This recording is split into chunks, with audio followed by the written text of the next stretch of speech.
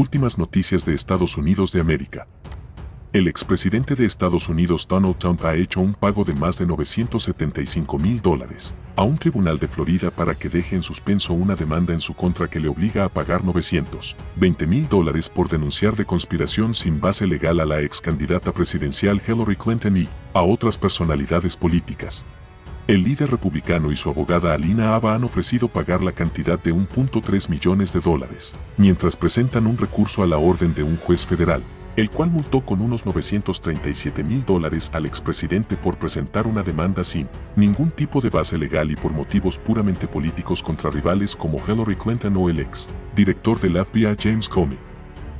Según se ha conocido, Trump y Abbas se han ofrecido a pagar una fianza incluso mayor de las que le solicitaba el tribunal, pidiendo además que dejara en suspenso su orden mientras apelaban.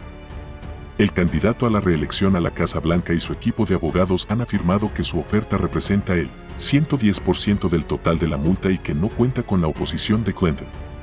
Patriotas, Donald Trump no es ajeno a la controversia, y su último movimiento seguramente ha provocado una nueva ola. El equipo legal de Trump ha dicho que Clinton y otros partidos no se oponen a su oferta, que es el 110% de la multa total.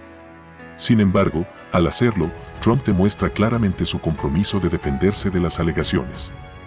Si bien algunos pueden ver esto como un esfuerzo por evitar la responsabilidad por sus acciones, es importante reconocer que Trump no tenía la obligación legal de pagar la fianza y podría haber tomado un curso de acción diferente.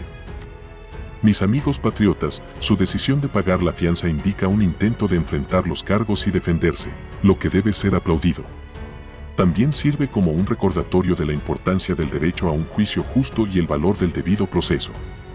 En última instancia, la decisión de Trump de pagar la fianza fue una decisión legal que tuvo que tomarse para proteger sus derechos e intereses. ¿Y tú dime qué opinas?